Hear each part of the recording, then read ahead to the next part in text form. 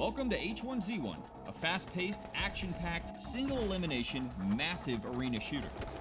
Each match begins with up to 150 players dropping into the arena across a 100 square kilometer map.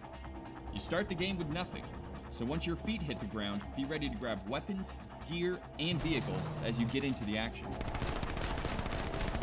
Watch out, because as the match progresses, a toxic green gas begins creeping into the arena, pushing everybody towards the safe zone.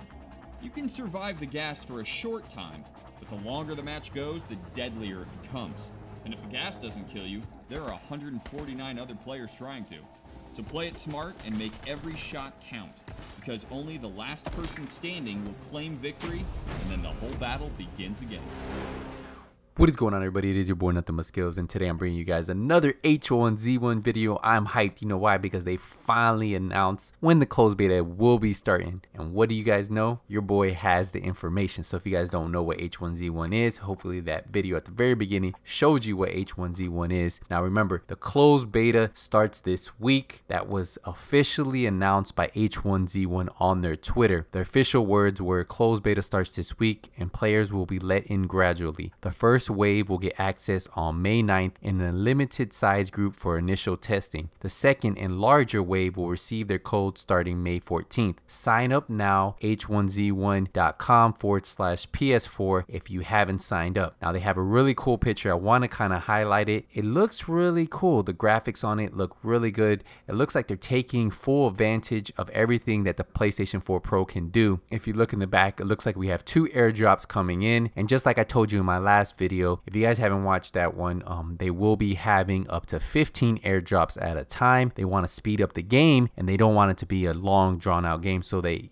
said we could have up to 15 airdrops at one time and that's so you can get loot from there and then also make players come towards it so they fight each other. Now in this picture it looks like he has a motorcycle helmet on, he has his backpack on and then he has an LMG. I believe this is the new LMG that they just added to H1Z1 and one thing I want to point out is if the game looks as good as it looks in this picture I have high hopes for it. I know before I've been showing you some of the PC gameplay and it's hard to tell because a lot of that gameplay is older gameplay that I was able to get. This is going to be a big improvement from the PC gameplay visuals. So we'll see how it all comes out. Remember, it does start this week. So you guys still have some time to sign up for this closed beta. All you have to do is head to h1z1.com forward slash PS4 and then hit the sign up for closed beta. Now, I've already signed up for it. I haven't received my code, so I won't be with the first wave most likely that starts tomorrow, May 9th. But hopefully, and keeping my fingers crossed, I get the next beta code on May 14th and then I can continue to play with those guys playing the closed beta all the way up till the open beta start. And that's when everybody will be able to download download the game on May 22nd. The way you sign up for this, all you have to do is click on the link on their Twitter. I really recommend you guys going to their Twitter. It's at H1Z1, and that's where they put out all their information. And then all you have to do is click on this sign up now for closed beta, and then it's going to bring you all the way to the bottom. And then right here, all you have to do is put your email address in. You'll get a confirmation in your email address as soon as you sign up. But after that is just keeping your fingers crossed. Remember, if you guys have any questions, remember if you have any questions on how to sign up for the closed beta or what H1Z1 is, I have made two other videos prior to this and I will be having a really big video coming out that's going to be the big differences from PC